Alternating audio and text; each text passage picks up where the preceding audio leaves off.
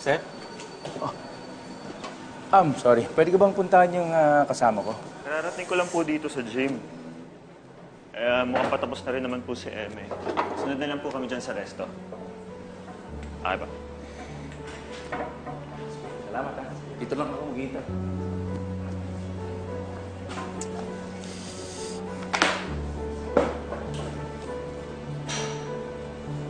Angelo!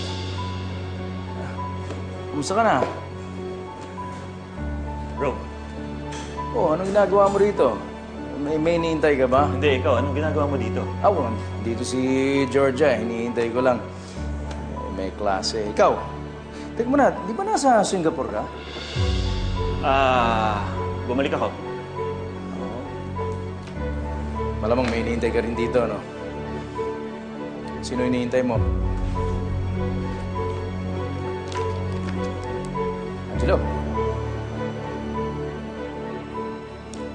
Angelo? Ah, oh, wala, kaibigan ko lang.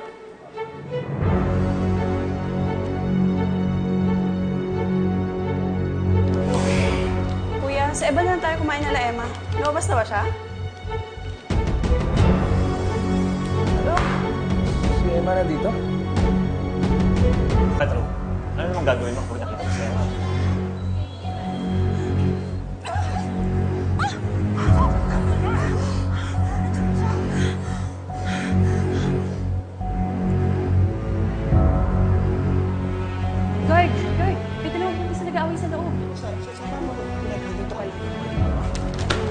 Si Georgia yun. Loob.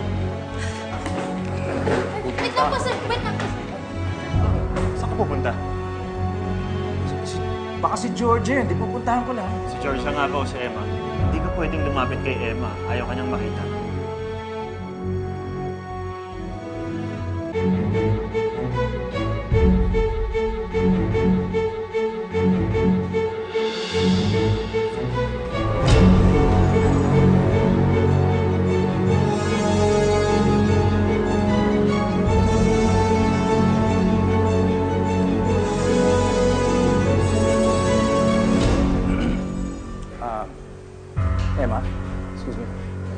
Ah, I'm sorry.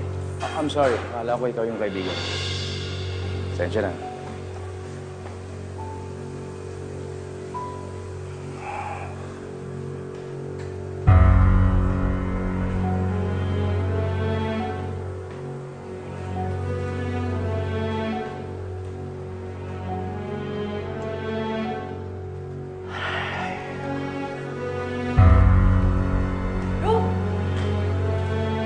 Ka. Kaya na, na-cancel yung flight ko. Kaya pinuntahan na lang kita dito. Balita ko, meron daw dalawang babae nag-aaway dito. Hindi kaya ikaw yung isa nun? Bakit naman ako yung naisip?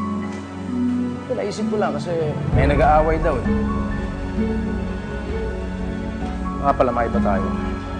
Sinabi sa akin ni Flor at saka ni Angelo. Andun sila sa labas na andito daw si Emma. Nakita mo ba siya?